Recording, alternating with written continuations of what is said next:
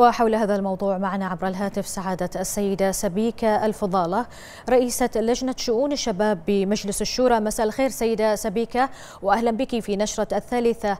بداية ما أهمية أن يكون هناك توجيه واهتمام ملكي يعنى بقطاع الشباب في البحرين؟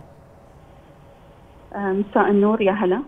بداية نشيد ونتمن بمضامين الخطاب السامي لسيدي صاحب الجلالة الملك حمد بن عيسى الخليفة حفظه الله ورعاه. التي جاءت خلال افتتاح دور الانعقاد الثالث من الفصل التشريعي الخامس. الخطاب السامي يمثل رؤية جلالته لمستقبل زاهر للبحرين بإذن الله وخارطة طريق ومنهج نعمل به لتحقيق تطلعات ورؤية سيدي صاحب الجلالة حفظه الله ورعاه. طبعا الخطاب السامي تضمن العديد من المبادرات التي أمر بها جلالته ومن أهمها هو إنشاء صندوق الأمل لدعم المشاريع أو المبادرات الشبابيه. وهذه طبعا يؤكد حرص جلالته بالشباب ودعمهم دائما وثقة سيدي صاحب الجلالة بأن الشباب هم مستقبل البحرين. فانشاء مثل هذا الصندوق راح يحفز الشباب على الابتكار وعلى الإبداع لتحقيق التميز والنجاح للبحرين ورفع راية المملكة إن شاء الله في جميع المحافل.